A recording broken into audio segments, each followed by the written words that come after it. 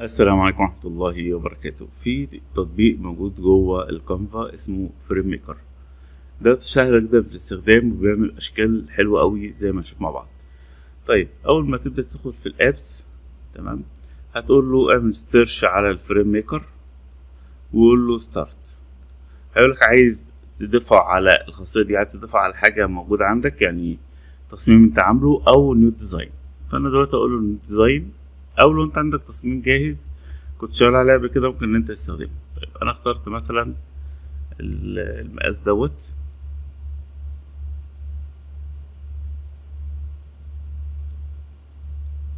وأبدأ أختار الشكل اللي أنا عايزه. مثلا هو بيديني شكل مثلث لكن تقدر تحط أشكال كتيرة مختلفة بطريقة سهلة جدا زي ما نشوف مع بعض دلوقتي.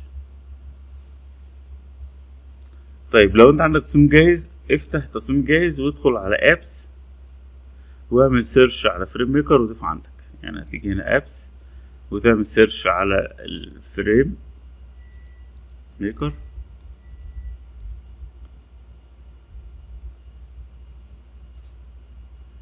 ويبدأ ان انت تضغط عليه زي ما بتضغط على اي واحد من دول يبدأ ان هو إيه يشتغل معاك ويضاف لي الصورة بتاعتك. هو الخاصية بتاعته آه ظريفة يعني. طيب خلينا نقول له فريم ميكر أهوت. هو بيبدأ الأول بشكل مثلث عادي لكن أنا أقدر أجي أدوس هنا أضيف نقطة تانية وتالتة ورابعة في أي مكان أنا عايزه. مثلا هو double click يبدأ إن هو يضيفه. طب لو ضفت في النص هيبدأ إن هو يسحبها بالشكل دوت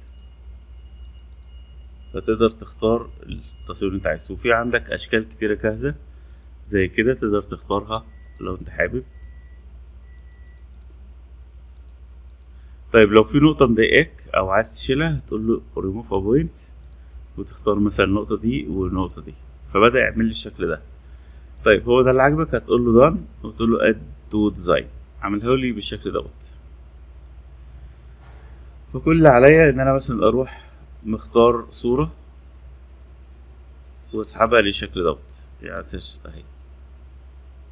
فبدل ما يجيب لي الصورة كاملة هو بيبدأ يطرحها بالشكل دوت ممكن أعمل duplicate للصورة وأخلي صورة كاملة وصورة مطروح منها أو معمول لها frame وأغير في دي اديها ألوان خفيفة وأغير في دي اديها ألوان تقيلة فبتعمل تبان شكله جميل.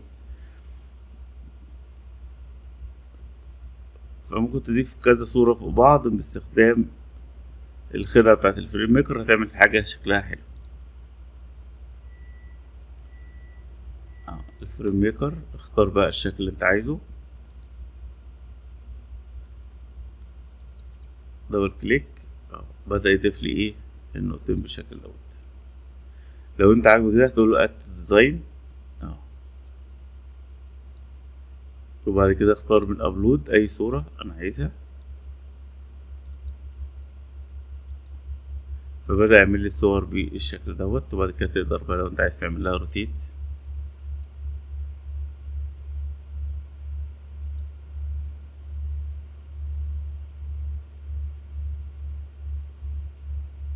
هنا الجريد لو أنت عايز يعمل سناب أو معملش سناب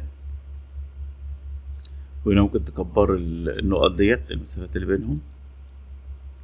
انت عايزهم مثلا ستة في ستة أو أربعتاشر في أربعتاشر حسب بقى إيه الشغل بتاعك. زي ما أنت شايف ممكن نعمل بأشكال كتيرة مختلفة. Add to design. اهو وبعد كده تسحب بقى اي صورة من الصور اللي عندك من أي مكان.